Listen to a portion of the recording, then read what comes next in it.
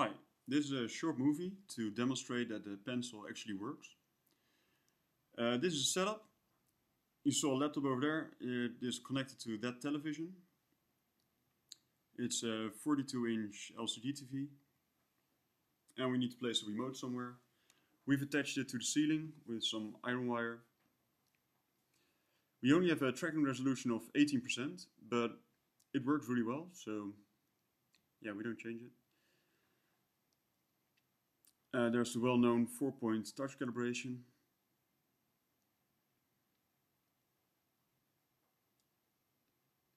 And yeah, now we can start using the Penciil. There's a program called Tablet Draw for the Mac.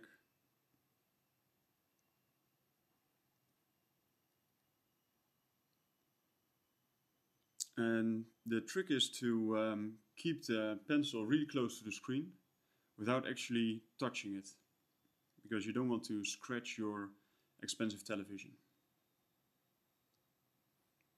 You can write, but you can also drag and drop, you can click through websites, you can do anything you can do with a mouse basically. Flipping through iTunes,